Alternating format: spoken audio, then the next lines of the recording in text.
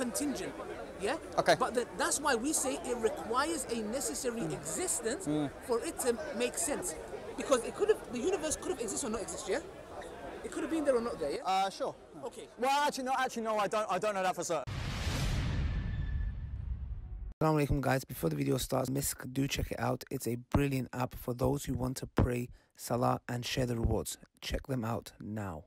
Organization called Salam. Yeah. Okay. So it stands for sharing affection, love, and mercy. Oh yeah, yeah, yeah. Doesn't it mean peace? Yeah, Salam yeah, means it does mean peace, peace. but what it stands for, each letter, sharing affection, love, and mercy. Salam. S A L A M. Yeah. You can see it. Yes, got it. it. You see it. Let- let the camera see it. there can be no doubt. Yeah. Yeah. So now what we're doing is we're, we're trying to, we believe everyone has an innate disposition. They're born with, we're all programmed, yeah? So what we're trying to do is we're trying to enlighten them, yeah? That's something all of us are born with. That's why in Islam we believe everybody's born a Muslim. Yeah, yeah. Somebody who submits their will to God, yeah? So you think a baby is born a a baby is born a Muslim. And what do we mean by that? We mean that um, they are born on the fitrah, yeah? Okay. So the innate disposition, yeah? So that means that there was a recent study done in Cambridge University which they said that, uh, if you know, the, the, the babies, that if I you- think I know what they you're have gonna this innate thing to turn to a higher being, yeah? So this is why we say Muslim, because Muslim is the one that submits his will to God. Yeah. However, as a Christian, a Christian would have to come to that baby as it's growing up and nurture it and say to it, Jesus is God and he died for your sins. A Buddhist might do the same and say, okay, Buddha was blah blah blah. A Hindu might come and say, okay, we have one million gods, etc. But you see, what we say is the following: that child is born Right. with the fitrah. So How's it going? what that means is that it has that innate belief. We believe all the prophets came with that one message: worship God alone. Yeah. And this is what we are all born to do: worship God. Now, this doesn't mean worshiping just by prayer. Mm. Yeah, yeah, That means in your livelihood, remembering God, appreciating Him. Yeah. So what I want to do is I want to hear from your side, your point of view, like a bit About the fitrah, a bit or about yourself, a bit about yourself. Why you're an atheist? Because you, you, claim- you claim you're an atheist, yeah? Uh, yeah, but but not but not in the traditional sense. Not in the. Up atheist. I wasn't really brought up in it. I was brought up in a sort of kind of semi-Christian. No, not re- not even Christian. It's difficult to. It, it's boring. Never mind. But but like uh, I'm not most atheists I find to be quite irritating. Really, they're sort of the type that kind of blue-haired Marxist freaks on campus just trying to get free speech censored. I don't want to be associated yeah, with them, to be yeah. honest with you. So uh, yeah, sure. I, know I, what? I think you can be an agnostic and an atheist, to be honest, because one's a claim to knowledge and one is a claim to, be- to belief. Really, everyone's an agnostic, or they should say they are, because agnostic just means you're not certain. So I'm not certain. I don't say there's no God. I'm just saying, uh, what's it? I don't believe you that there is one for now. If that makes Do sense. you think I, it could I, change? Do you think that could change? I mean, I'd be closed-minded if I said no. But it's sort of, so. So, so would you would you say? that- By the way, do you want something to drink? Tea, coffee? I can get someone to go get Uh, I'm all right for now. Thank you. No, that's, coffee, sister. Coffee. Coffee. Can someone Thank get coffee? Uh, I will. And get, get something for yourself. Mashallah. Mashallah. Okay, so you see, you see what, what we want to do here is because you see at Salama organization, Mm-hmm. what we're trying to do is we're trying to change, change this vibe in the park. Yeah, there's been a lot of controversy, a lot of heat, a lot of ego, and we don't want to look. I'm not here to win an argument. Oh, no, you're not. No, that's fine, I'm that's not fine. here to say okay, one point to me, no point to you. and Yeah, you're- one-upping each other, sort of, yeah. I'm, I'm, I'm, this is all ego. You get what I'm trying to say? I'm here to genuinely understand where you're coming from, and I want you to understand where I'm coming from. Absolutely. That's all it. Yeah. So now. that's why I come. I want to talk to Muslims, see what you guys are about. Yeah. Jacob, yeah. Yes. Yeah, so Jacob, that's why. Now, what kind of evidence would you require to logically and reasonably say, okay, there is a higher intelligence, or, or there is something there? What, what would you require? Okay, so uh, last week um, there was a group over there. I think they were Christians actually. They were, and they, and they had a poster saying um, "free healing." You know, come come and be healed. And they cla- they claimed if I came over with a, a broken leg or something, and they uttered a prayer for me, um, they they said I've seen that happen. That's just mended right in front of us. You know, we can attest to that. And they had some woman who I think was a plant say, "Oh yes, it worked. It worked for me as well." Right? And I obviously didn't have nothing, you know, anything wrong with me. But if I had, if I say had a broken arm, okay, and uh, and they said if we pray to Jesus or, or whatever God you know, would be the same if it's a Muslims, although I think you, you guys don't have the similar healing thing as, they do, right? If if that worked, I'm not saying I'd be fully convinced, but that would be a big step. You know, if something like that happened, if, if there was some sort of you know, real miracle that I could see. And when I say miracle, I don't mean kind of, oh, just look at the world around you, isn't it beautiful? It must be finely tuned. You know, if there was some kind of uh, um, astrophysicist Carl Sagan, or, or Sa- yeah, I think it was Sagan, um, said extraordinary claims require extraordinary evidence. So I don't really know what I could I, I can't think of some kind of oh yeah that point that would be the point that would kind of push me to believing, but it would have to be something. All I know is it would be quite a you know a really good argument or a really good sort of Okay. so- moment. now, I want to use some arguments and see if you will uh, relate with it. Yeah? Go ahead. How do you know? How do you know my watch is designed? Oh, okay.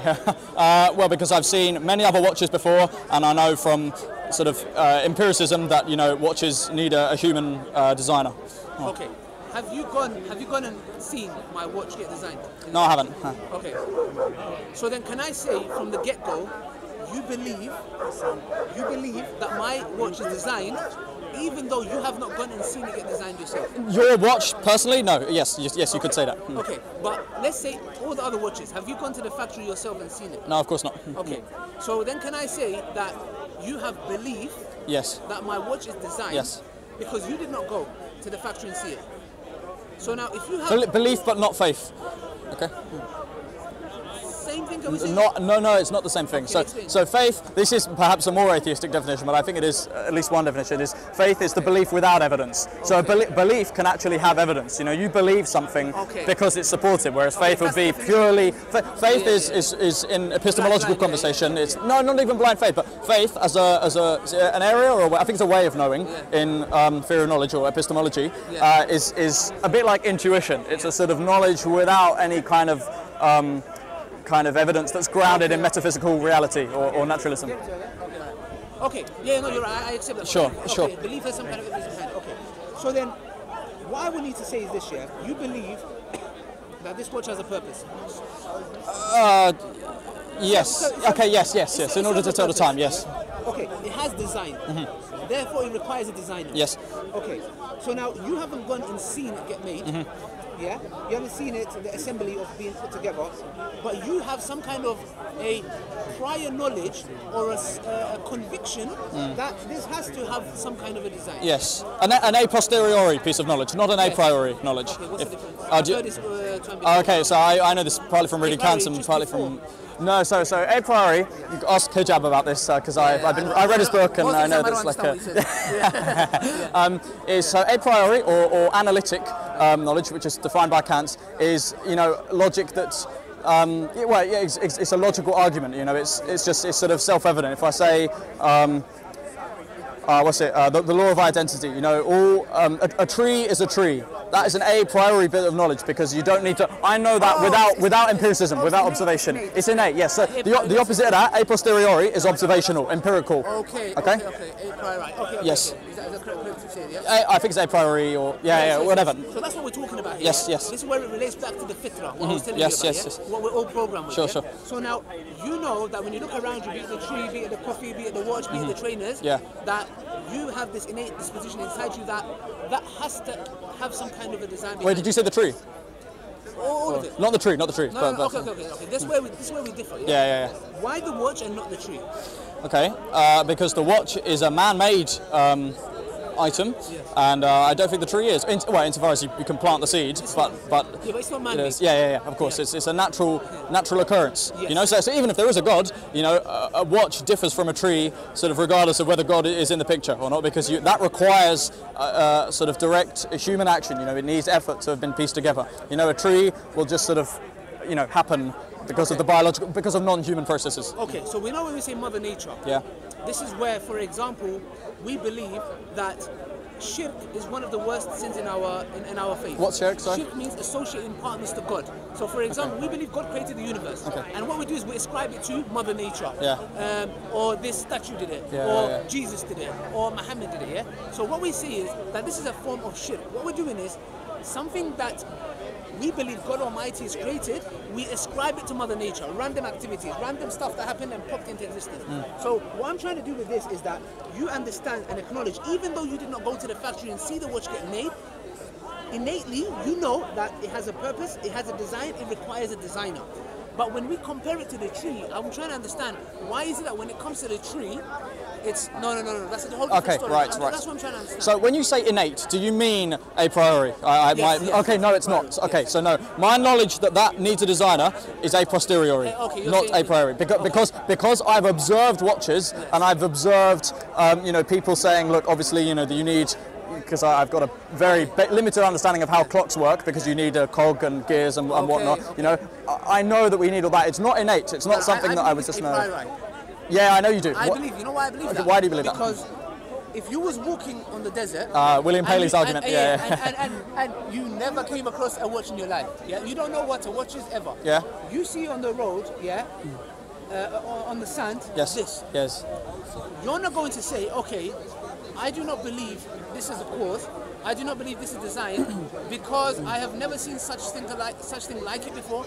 So if we have some kind of like a spaceship or some kind of weird Yeah, yeah, yeah. uh, we're not going to say, oh, hold on a second, this is, um, uh, it can be, uh, for example, that I'm seeing things, but we're going to say, okay, Let's assume you're not hallucinating. Yes. let's, okay. let's okay. assume I'm not hallucinating, I don't smoke weed, yes, and Good I don't think anyone should.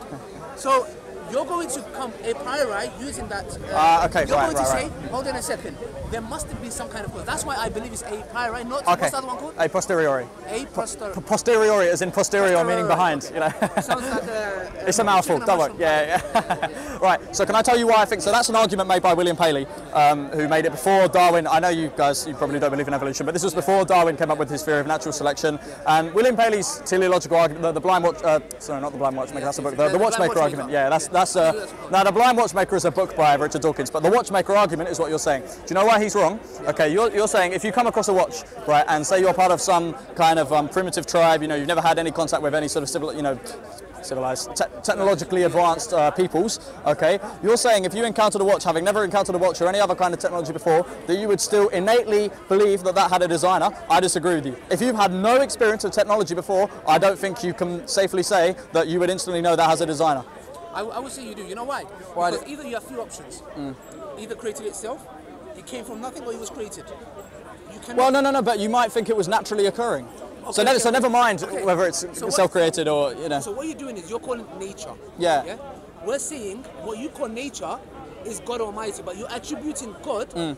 As nature because God has His uh, names and attributes. What you're doing is you're saying, okay, that's random events. That's what I'm trying to come to. I'm trying to come to the beginning of Yeah, the yeah, yeah, universe. sure, sure. So but I'm, ju- I'm just saying, uh, sorry, so finish, finish. Sorry, sorry, Jacob. Yeah? So when we come to the universe, it's the same thing. Yeah, we have two arguments. Yeah, we have the Kalam cosmological argument. Yes, And we have uh, the new argument, the contingency. Yeah, yeah, yeah. yeah, yeah, I'll, I'll- come to those if you if you Yeah. like. But just I'm saying with, with the watch, I'm saying you can't know that maybe there is some tree on your island, you haven't explored the island, that produces these bizarre-looking fruits that looks, you know, it's got a strap and it's got a face and it's got numbers and hands that move. Maybe that fell from a tree that- and you just don't know. That's not a problem. It still requires that there was some kind of a cause and design behind Okay, it. but then you're going cosmological. Then, then you're abandoning the teleological argument. the- There's the No, no, argument no, from I- design. I, I am, I am. But what, what our atheist friends do is they, they, they divorce them.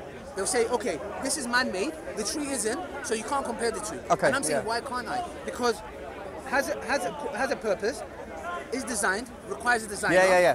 That's and if we go back to, the, if I give the example of a tree or the universe, which, I'm, which was my next argument, Mm-hmm. is for example, the universe itself, you have a couple of options. It either came from nothing, either created itself, it was created, it was infinite, Yeah. or it came by chance. Yeah, yeah, yeah, So that's all good. Now, so now, But that's not the same as with the watch. Okay, with the watch. me why not. Okay, because with the universe, there's a possibility that it actually did begin to exist. Maybe that because of God, or, or well, I'll, I'll go to that in a minute. I just want to address the watch. Okay, I'm, I'm not dodging your question, but but the watch, you know.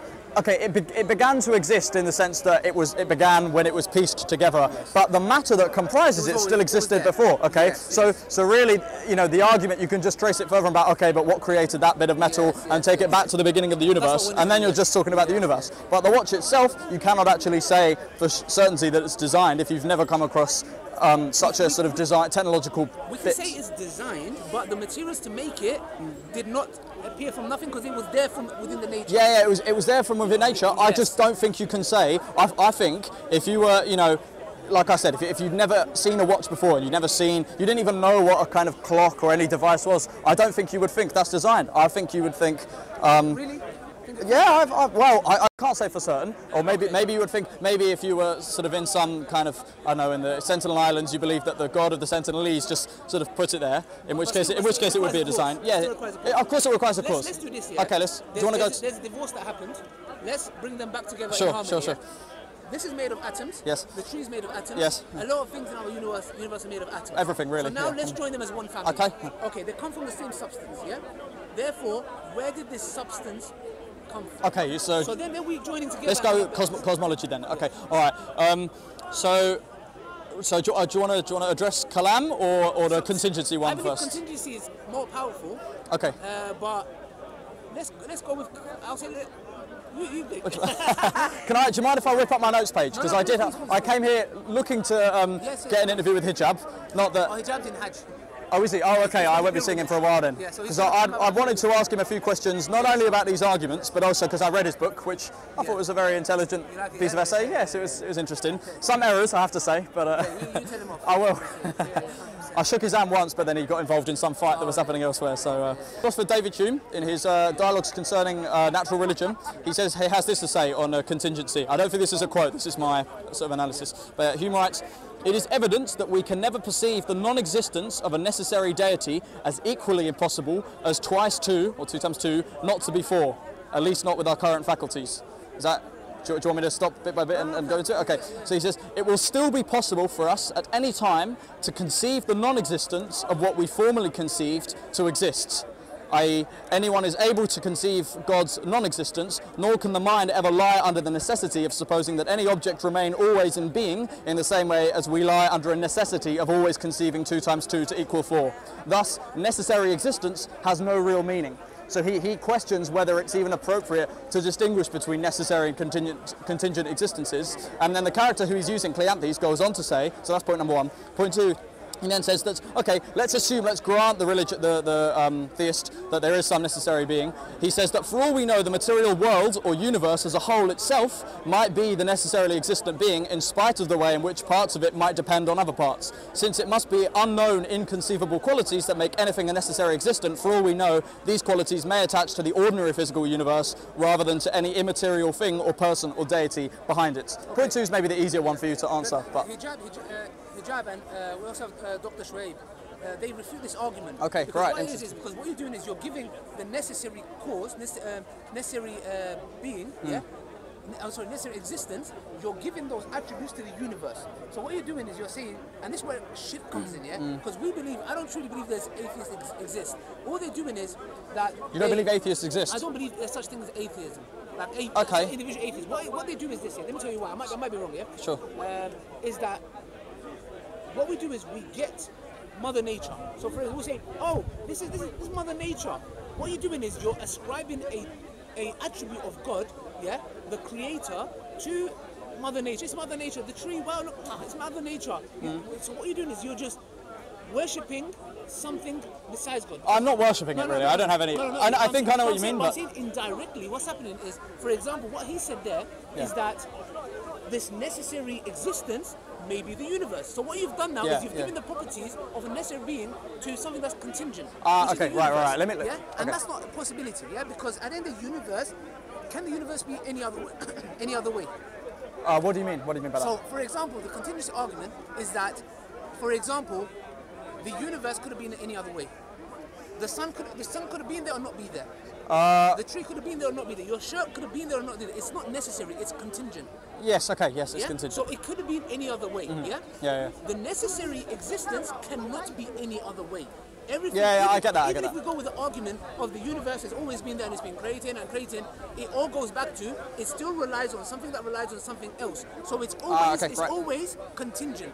Yeah. Okay. But the, that's why we say it requires a necessary Hmm. existence for it to make sense. Because it could have the universe could have existed or not exist. Yeah. It could have been there or not there. Yeah. uh, sure. okay. Well, actually, no. Actually, no. I don't. I don't know that for certain. Okay, okay. I would say maybe, maybe the universe Okay. was necessary. So what we say, Jacob, is that say Excuse me. it's necessary existence. I mean, uh, contingent, yeah, uh, possible existence. It could Mm. Yeah. have been some other way. yeah, yeah. The universe could have existed, and not could have existed. It, it could have not been there. But the fact that it is in existence requires a necessary, uh, uh, necessary um, Being or necessary existence. existence. Yes, yes. It requires that. This is why we don't. We're trying to move away from the Kalam cosmology argument because Yeah, leave Kalam, leave Kalam. regress, Yes. yeah? Even though I believe it's a very strong argument, but I've been using it so don't, much, I yeah, just want to use yeah, something yeah. new. And this continues. I'm, I'm, I'm kind of grasping this too, yeah? So I'm, I, I Sure, haven't that's fully- fine. Me too, I me too. I, I- haven't fully got it, but do you understand where we're coming from? I think I do. Can I, so several points to just there. So um, Oh, what was your first point about uh, you don't believe in, in atheists really? Oh yeah, no, that was it. We we we're taking attributes of God and instead ascribing Yeah, it to Mother Nature. Mother Nature. Okay, right. So my disagreement with that is that it's the other way around. For me, what you're doing is ascribing elements of Mother Nature to something and calling it God. Okay. So it's actually you who's doing that, you know, and I don't believe that's a sin or anything, but I think that's what you're doing. I think that um, I'm going to be so bold as to think that my position is the more uh, innate one, which I'm sure you disagree with. Um, what's, and then you said after Yeah. that, uh, So just just rehash your Yeah, argument so, bit so by bit. basically, just touch upon that. So you, you Okay. believe that because you're basically saying we're saying God made man. You're saying you guys are claiming uh, you're saying man made God. Uh, yes, that's one way of saying it. Yeah, yeah, yeah, yeah, yeah. no, Yes, yes, man, yes. yeah? Okay. the evidence to that, what I'm trying to say is that is, is that it goes back to the argument of that can the universe come from nothing? It cannot. Uh, 'cause Yeah? now, now that is sounding a bit It is, Kalam-ish. it is. I'm, I'm, trying, okay. I'm trying to go there more forward. Maybe it can make you understand better. Okay, all right, logical all right. argument, I mean, uh, the contingency argument can fly over people's head, yeah? So just to bring it back to the basics. Okay, all right, go. The universe, do you believe the universe had a beginning? Um, I think it could have done, but I'm not. I'm not sure. I, I, I wouldn't be justified in saying yes at the beginning. Okay, let's I believe in the Big Bang, but that, that- we don't know the Big Bang was the beginning. Let's go through the logical arguments. Yes, let's- Okay, So what we're seeing is that if you're walking down the road and you see an accident happening, yeah? Yeah. You will say, okay, there's a cause to this accident. Yes. If you go and go to the ice cream, uh, somebody comes and gives you ice cream, yeah? You want ice cream, by the way? No, I'm all ice right. cream. You can say, okay, to get, got me an ice cream. You probably got it from the ice cream shop. Yes. Logically, you're de- deducing it. You make that mistake. Love- see that? it's all right, all right, Deducing it logically to come to the best possible understanding. Logically. Yes. Yeah. Why is it that when it comes to God, when we say, okay, hold on a second, the universe, yeah, um, and I'm not even using fine tuning, yeah. That's I'm saying, fine. For example, when it comes to the universe, we say, oh, hold on a second, Ali, stop there now. Logic, put that to the side now. Now we're going into it may have created itself. I'm just wondering why that happens. That's all I'm asking. Well, I did make a logical argument for the for the self-creative. No, but okay, no, you didn't. To be honest, to be honest. Okay, no, no, why, why? Okay. It's all right. You could say I'm I'm not offended by No, anything. no, You say no, what you want. no. How can something, for it to create itself, it has to exist and not exist at the same time? Yeah, no, no, no, no. That, that's fine. That's fine. But just when I, when I say I made a logical argument, that is a fact. Now you could say, oh no, your logical argument Yes, wasn't yes, valid or it wasn't yes, sound. So but my argument rec- regarding the infinite causality within the finite time, that was a logical argument by definition. So whatever you say, you No, didn't it make still, that. It still relies on even if you say infinite uh, causations in a finite time. Yeah, yeah, yeah. Which I believe, if I'm not mistaken, is kind of a contradiction because you're in a finite space and you have an infinite uh, uh, uh, uh, uh, um, infinite chain of events. Are there, are there not an infinite number of decimals between zero and one? What do you mean by that? There are an, there are an No, no, infinite no, number of decimals number. Mathematically, but operationally, in the real world, it doesn't exist. Like I said to you before, we can say, okay, As far as we know. infinitely, yeah? No, no, as far as you know, but this is what I'm trying to say. Yeah. You know something as far as you know, there's Yeah. a possibility Yeah, of yeah, being yeah, wrong. yeah. We're talking certainty. We're talking about something that requ- has to require a cause. Mm. Why is it that we throw that away and we go with the, I believe it's an absurd possibilities, like it creating itself. It's a logical impossibility. It Mm. coming from nothing, a logical impossibility. It being there forever, again, infinite doesn't has no beginning and no end. So we cannot add or subtract from infinite. Mm. Yeah. Yeah. Yeah, so yeah, if yeah. the universe had a beginning, it's it, this debunks the whole claim of infinite. You can t- you can call infinite towards the future, but not towards the past. So I'm Paul Alec, Alec Vilenkin seems to think so. Yes. but so far, it's just look. Do you get what I'm trying to say? I, I do understand what you're saying. I, I just, I just want it to be like just, a, uh, just something that you can ponder upon. I'd make a much better argument without these people. Um, you know, there would be no laws to say that everything needs a cause, because there's no, there's not even any any temporality. So there's no um, kind of uh, cause and effect. You know, cause must precede effect. Uh, there's no sort of requirement. Do you see what I'm saying? So you're with, with so- nothing, anything can So happen. you're saying just because we okay no, you're saying just because we have laws within our universe, Yeah, yeah, yeah. doesn't mean there's going to be laws in the nothingness. Yeah, Okay, pretty but much. what I'm trying to say is that firstly, to make that leap, yeah, you need to know what nothingness is. Yeah, So now what we're seeing is that nothingness is the absence of something. it's the absence of anything. It's the absence of anything. Yes. So that's our whole premise. Because if there was nothing, from nothing, nothing comes. There can't be, okay, there's. That- ah, but that's what I'm disagreeing with. There's- there's- no, no, we can't say there's some random laws and those laws that are there, that, that they don't apply here. Yes, maybe, but the issue is if there was nothing at this point, yeah, sorry, example. If there was a nothingness, there is no laws. There's, there's nothing. We can't. Exactly. There's no laws. And no God. If there's nothing, Oh, okay, there's no okay, God. no, no, no. Okay, okay, good. So what I'm trying to say is this. My point is that, yeah, is that if there is a point of nothingness, Yeah. We say it cannot come into existence. If it's a nothingness, it's just nothingness. Yes, not, and I- but- nothing's not gonna say. Nothing's not gonna say. Yo, I'm, yo, man's bored. Bun this. Let, let, let me just get. Yeah, no, come into existence. Yeah, it's not gonna do No, that. nothingness is a road, man. exactly. Nothing's gonna say, yeah, yeah, man needs to go. Uh, bun it. uh, Let me come into existence. Yeah. So I'm saying that there was nothing, the point that we're saying is the fact that our universe exists requires a cause. Because if it was nothing, we won't be here, we won't be arguing, there's nothing to argue about, it's just nothing, nothing just floating in nothingness. Yeah. Therefore, that proves to us the fact that the universe exists. If it does exist, it did not come from nothingness. Yeah? Hmm. There was a cause behind it. Yeah? We believe God can say kun fayakun, be and it is. So God can say, I want the universe to begin.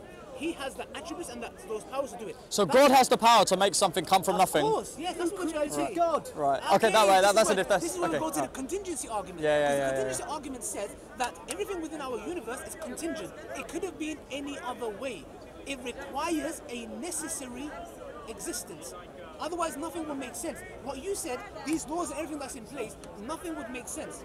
The universe, it either came. Look, I, I said to you, can it come from nothing? Impossibility. Zero can never equal one. Right. I, I still want to come back to that oh, No, fact. no, no, no, no, no, no. Zero can zero ever equal one?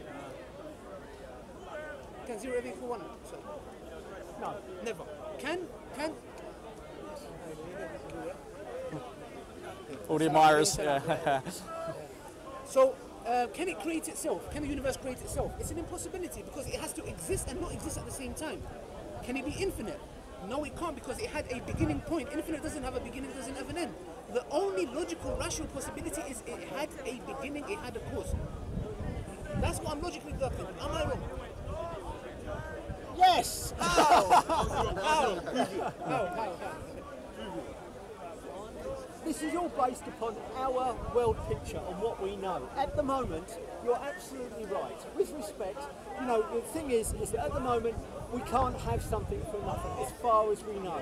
But in a hundred years' time, in three hundred years' time, in a thousand years' time, somebody may. We, our, our, our knowledge is expanding, our understanding is expanding, Okay. and we may suddenly understand things that seem absolutely impossible at the moment. You only have to look at Newton and let's say Einstein. The thing is, is that so you know, Einstein put Newton put forward a series of ideas. You're talking about a paradigm shift. What Thomas Kuhn called a paradigm shift, which is a shift in our understanding. Sorry, I sorry, know sorry. you've got big arms, yeah, That's like, uh, oh, I wish. Yeah.